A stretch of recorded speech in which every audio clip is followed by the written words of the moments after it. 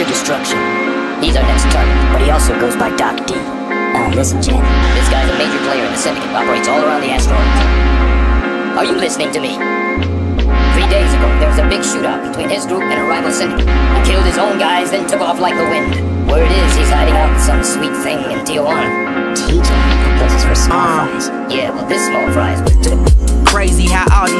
these legends turn to my brethren. Like how Sir Robert professed it back when he was under pressure. I turned them verses to lectures like I was at study hall. Yes, I was just study hall. Now he done passed me the ball and I never fumble it, just delivering all that I got. Flawless Chris Paul off a big bitch. I'm never stumbling, just punishing these beats. I'ma chip off the old block. You tested my stock, attacking the Titans, gon' bring the rumbling. Uh, force feed your humbleness in the form of a slice of this.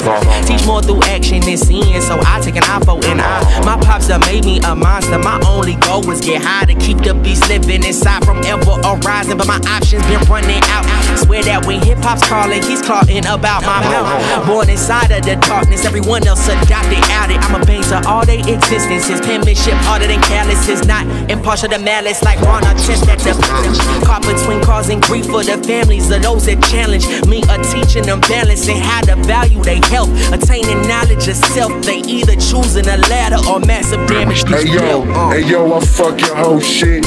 Leave your wig split like oh shit, it's my opus. I just fuck three bitches that look like the witches from Hocus Pocus. Lyrically, I'm Zach Galifianakis. I got nuclear codes and access to wormholes around the universe.